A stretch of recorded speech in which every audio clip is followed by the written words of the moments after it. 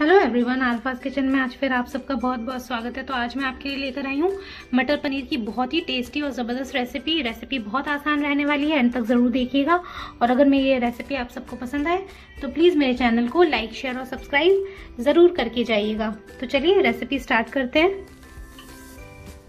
सबसे पहले हम एक पेस्ट बनाकर रेडी करेंगे, जिसके लिए मैंने ये लिया है एक ब्राउन करी हुई प्याज, जिसको मैंने तेल में इस तरह से फ्राई कर लिया है स्लाइस करके। दो टमाटर प्याज अगर एक है तो हम दो टमाटर लेंगे, प्याज अगर दो है तो हम चार टमाटर लेंगे। यही रेशियो हमारे ग्रेवी का होना चाहिए परफेक्ट तीन लिए मैंने ये हरी मिर्चे, चार से पाँच लिए मैंने काजू। इन सब का अब मैं एक फाइन पेस्ट बनाकर रेडी कर लूँगी।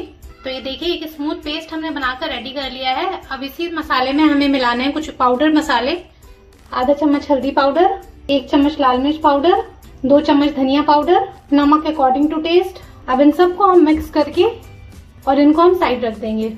और अब हम पैन में लेंगे फोर टेबल स्पून ऑयल मैंने सरसों का तेल लिया है। दो इंच का टुकड़ा दालचीनी का, चार इलायचियाँ, चार से पाँच लौंग, छह से आठ काली मिर्च, आधा चम्मच साबुत जीरा।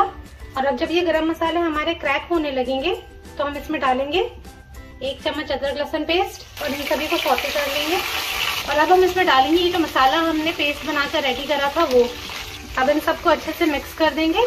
आधा कप पानी इसमें डालेंगे। और इन सभी मसालों को अब हमें बहुत अच्छे से भून लेना है। तो अब ये देखिए, मसाला हमारा अच्छे से भून चुका है। मसाले ने तेल भी अच्छे से छोड़ दिया है। अब हम इसमें डालेंगे ये एक कप मटर।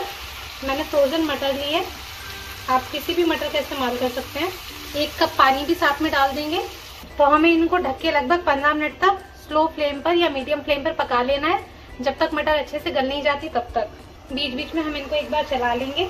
तो ये मटर गलने में ज़्यादा टाइम नहीं लेती है। मटर हमारी बहुत अच्छे से गल चुकी है। और मटर गलने के बाद अब हम इसमें डालेंगे एक कप पनीर, जिसको मैंने इस तरह से स्क्वायर में कट कर लिया है वो।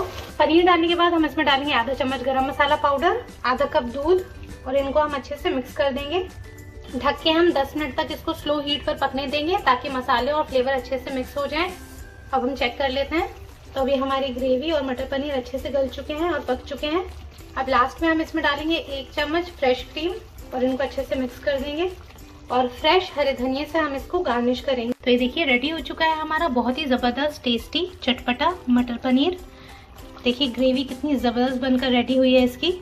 तो इसको आप आज ही ट्राई करिए और मुझसे ज़रूर शेयर करिए कि आपको मेरी मटर पनीर की रेसिपी कैसी लगी। मेरी गारंटी है कि आपको मेरी ये रेसिपी बहुत पसंद आएगी। तो नेक्स्ट वीडियो में मैं फिर एक इंटरेस्टिंग सी रेसिपी आप सबके लिए लेकर के आऊँगी तब तक के लिए thank you so much bye bye.